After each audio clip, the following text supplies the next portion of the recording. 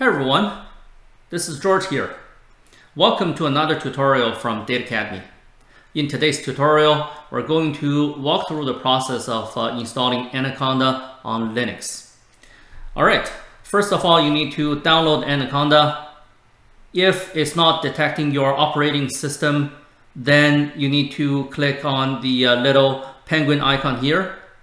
And this will bring us down here where you can see the different uh, files for the different operating systems. So in my case here, I'm going to choose the first one and I'm going to download. However, since I have already downloaded just now, I'm not going to do it again, but you can just click this to download your file.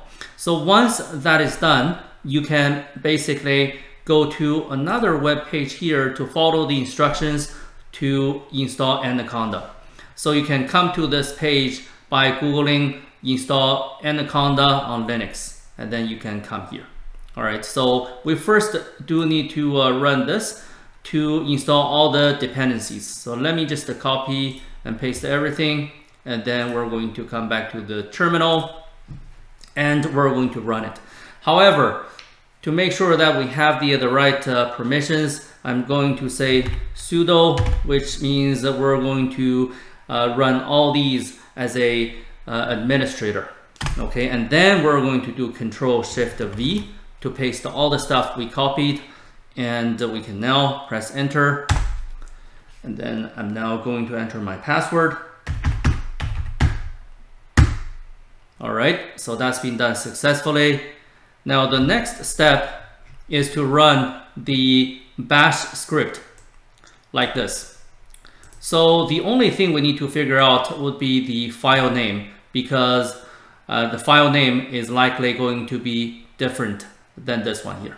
Okay, so we're just going to basically copy everything from here to there. Okay, and then we're going to come back to the terminal. I'm going to do this because um, um, the file that I just downloaded, it is also under downloads, so that's going to be the same. And here, I don't know what the file name is. I can probably just, uh, you know, do anaconda something, and then I can press tab to do autocomplete, and there you go. And that's it. We can press enter to run this. All right, the installation process has started. We can press enter to continue. And then you need to uh, keep pressing enter to accept, to go through, to review all the terms and conditions. Let's do that. And then it's asking you whether you are going to accept the, the license terms, yes or no. So for sure, we want to accept that and then yes, enter. And we also want to accept this default location where we want to install Anaconda 2 as well by pressing enter. And then the installation process starts. It's going to take a couple minutes. I'm just going to pause here. Okay, we're almost done here. So the last thing that we need to do is uh, it's asking us, do you wish the installer to initialize Anaconda 3 by running conda init? So I'm going to say yes here as well.